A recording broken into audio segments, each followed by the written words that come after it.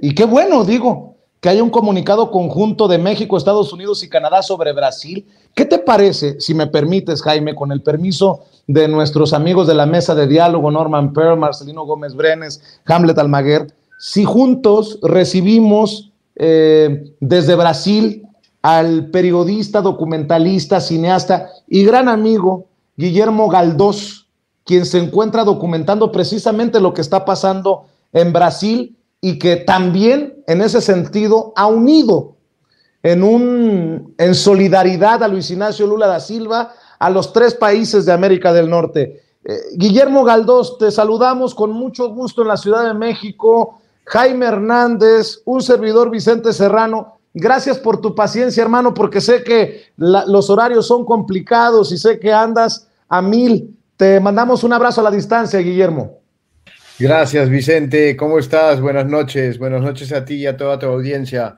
Sí, pues estamos acá. Llegamos hoy muy temprano en la mañana, volamos desde Perú y nada, encontramos una Brasilia que había sido golpeada, obviamente, el día de ayer este, estuvimos en las oficinas presidenciales de Plan Alto, el, ministro de Comunicaciones, el señor Paulo Pimenta, nos hizo un tour dentro de, las oficinas presidenciales y pudimos apreciar de primera mano la destrucción de obras de arte de más de 5 millones de dólares que habían sido pues este, rotas con, con, con, saña y también la destrucción. Casi todos los vidrios de la primera planta estaban, estaban en el piso.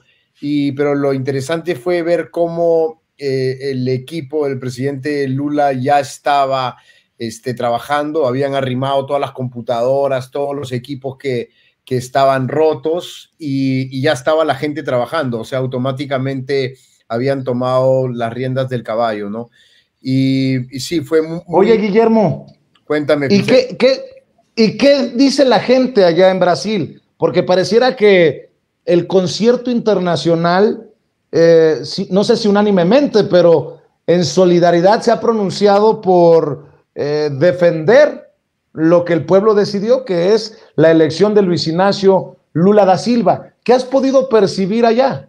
Mira, este, yo creo que el, tema en Brasil no, no, es tan sencillo. Efectivamente, el presidente Lula da Silva venció en las elecciones, eh, a mi parecer, y, a, lo que yo he podido investigar eh, limpiamente.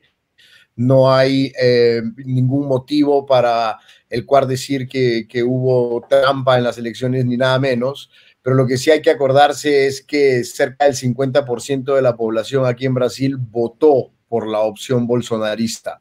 Y lo que hemos visto ayer es un ala radical de, ese bolsonarismo que, los expertos ya venían hablando de ellos, que han habido una serie de eventos desde que el presidente Lula salió elegido y que fue reconocido por los órganos electorales y que ya se veía pues esta bomba de tiempo y que justamente fue muy similar a lo que pasó en el Capitolio el, 6 de enero hace dos años con, con, Donald Trump, ¿no? Eh, tú eres